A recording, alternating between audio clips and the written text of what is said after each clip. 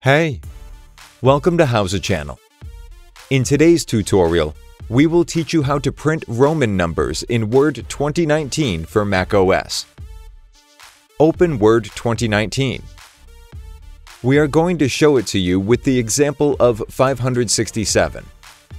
To type this number in the Roman style, we are going to use a special formula. Press Command F9 on your keyboard and run the formula. Type equal sign inside the bracket and then type your number. Next is reverse slash, asterisk, and Roman. Select the formula and press F9. There you go. Let's do the same for 1236. Press Command F9 on your keyboard and run the formula. Type equal sign inside the brackets. Then type your number. The next is reverse slash, asterisk, and Roman. Select the formula and press F9. Easy. That's it. Thanks for watching the video. Please like it and let us know if you use any of our tips and tricks. Subscribe to our channel.